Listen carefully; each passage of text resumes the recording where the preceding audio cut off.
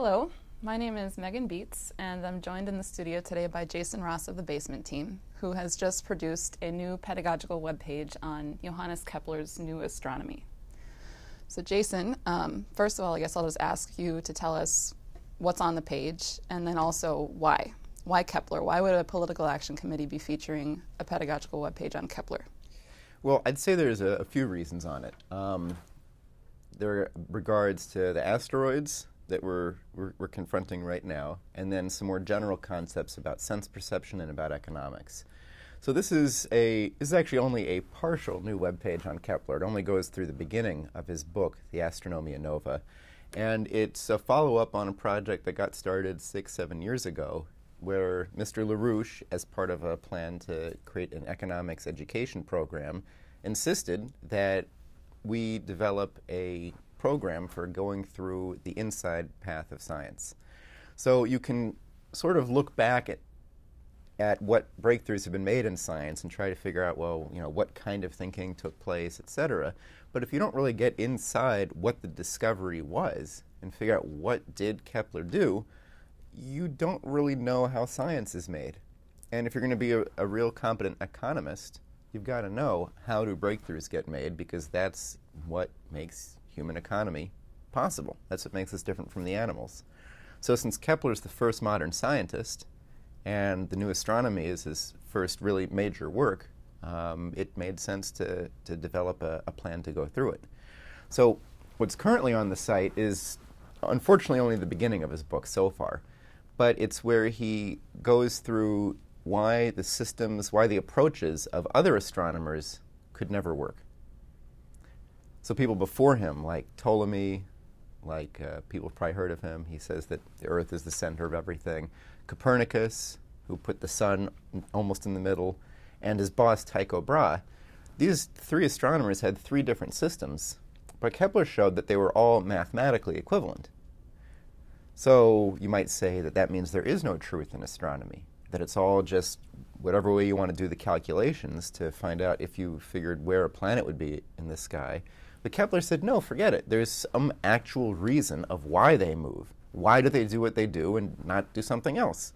And that physical aspect of astronomy, that's part of your hypothesis. That was a first. This is the beginning of saying that astronomy is not just observing things and matching the observations, but of knowing a physical cause, of knowing why. It was the first astrophysics. Okay, so that gets me to my second question, which is that Mr. LaRouche has been putting a lot a lot of emphasis in the recent period on the problem in society being that people believe in appearances. They believe that you know things, you know why things are happening because of what they see and what they touch and what they're told in the news. Sense perception. So and the, the, the corollary of that is that they don't know how the human mind works. So you've touched on it, but I was wondering if you could say a little bit more about how, why Kepler? How does Kepler help us actually confront that problem and know what real thinking is? Well, one of the things I'm happiest about with this new website is that it's, compared to the earlier edition, it's got a much more expanded uh, description or work through about how observations take place. Because most people, I mean, we don't really do observations that much. Ast- astronomy. Sky. Yeah, yeah. Mm-hmm. Nighttime astronomy is not really a, you know, a popular pastime anymore. It's also much harder than it used to be. If you live in a city, you can't see anything anyway. It doesn't matter if you want to look at the stars. You can't. You're not going to be able to pick out planets very easily. Right. The the sky's too light. So it's really helpful to actually, and the site does it, go through what do you actually see, and you realize how very difficult it is out of this whole sea of stars, there's only a few of them that move unusually, the, the planets, and that from those just dots changing their positions to be able to develop a whole physical theory about how the sun is the cause of the motions. Kepler begins developing his theory of gravitation, and to think that it all comes from, you know, a few spots that change their position compared to the other stars in the sky is pretty phenomenal. I think that uh, what we're going to get to at the site is the vicarious hypothesis. So, this is where Kepler takes the approach of his predecessors. He says, Look, uh, let me follow your method. Let me use mathematics, I'll take some observations, and I'll use mathematics to make the best model that matches the observations. And he does it, and it works very well. but he knows that it includes a, distance between the sun and Mars is the center of Mars's orbit. It includes a distance that he knows isn't right. So he can either have a model that works, that he knows is physically wrong, or if he adjusts that physical parameter so it's right, then it doesn't tell you where Mars is going to be. So he really explicitly shows you the limits of trying to use mathematics to understand reality. And it's, it's, it was very important for him to do it for the people he was talking to, the other astronomers of his day, to make the case that, hey, it's impossible to take this approach. Otherwise, people might look at his theory as just one more theory. There's Kepler. He thinks that the planets move around the sun because the sun's actually causing that. Well, that's his theory. I've got mine. There's 20 spheres that are moving, you know, guided by intelligences out in the heavens, and that's what makes the planets move. He's got his, his theory, I've got mine. He showed that no, that their approach can't work. So, really, is a question of how do you know that something is true? Mm-hmm. Rather than interpreting the facts or having some kind of spin on something, how do you actually, how can you actually feel or know truth? Yeah, because Kepler says you could have two theories. You could have two different hypotheses that both make the same results. They give you the same, you know, calculations. So you'd use both theories. You'd say, where is Mars going to be? And it tells you it's next to, you know, this the same star. And you look, and they're both right. And he's just saying, well, no, no, because there's some reason that that happened. And if you don't include the reason for why things occur, then you don't have a real theory. And that was really a breakthrough. People did not think in those terms in his day. Well, I think you can also see, because you look at the outcome of after Kepler, you see what that unleashed in science, all the progress that unleashed in science, and frankly also in music, leading into the discoveries of Bach. And I think you can also see the, the effect of somebody like Kepler versus the effect of all of his predecessors on the advancement of civilization. Mm-hmm. And that gets back to our problem today. Well, it does in the, the, the asteroid problem, which you're maybe more familiar with.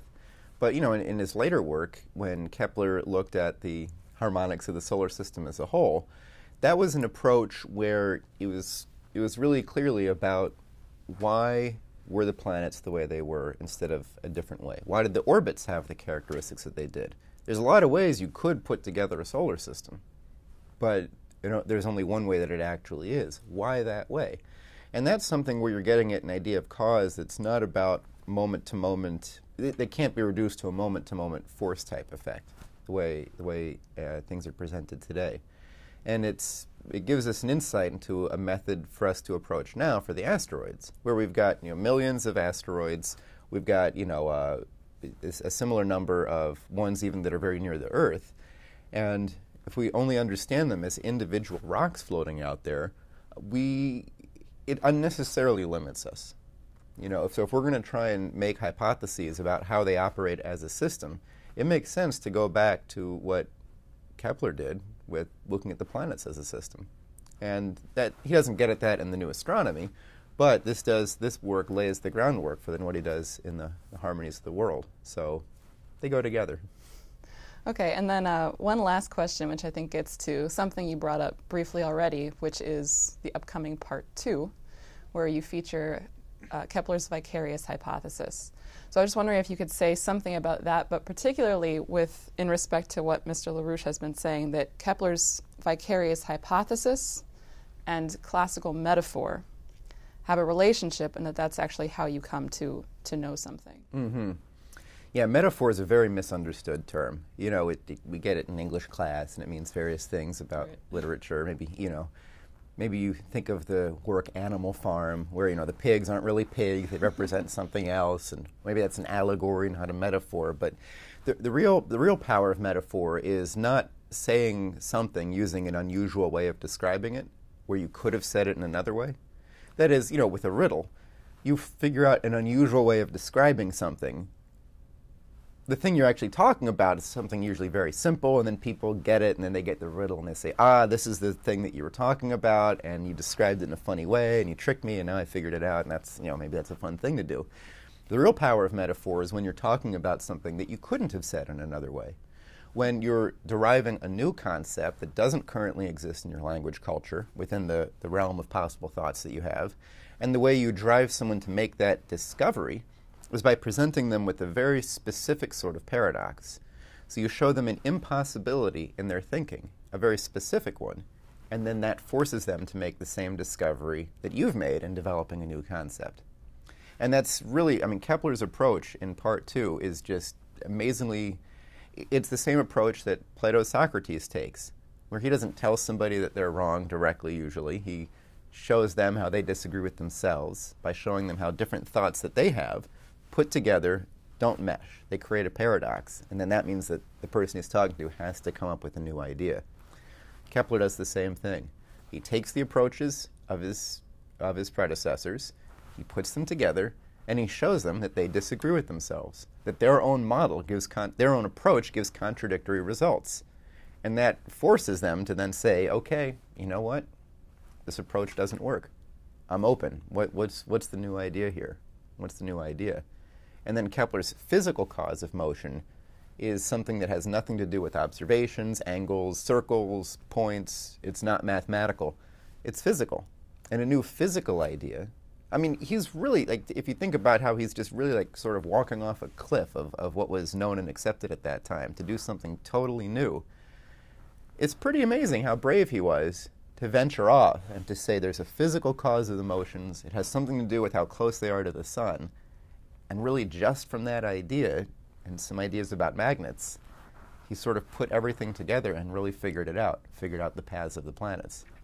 And he's good enough to, you know, write a book that goes through like a good drama or like a Socratic dialogue why what he did was necessary. And so people can have access to that.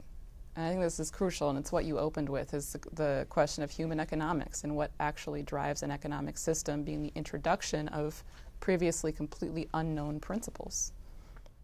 Mm-hmm. That's that's what human culture is. That's what people do. We figure out new things. And if there are people in the past who've done a very good job of it, it makes sense to see what they did. good. Okay, well, thanks very much, Jason. Um, so people can access the new web page at the site that you see at the bottom of the screen, and stay tuned to LaRouche PAC TV.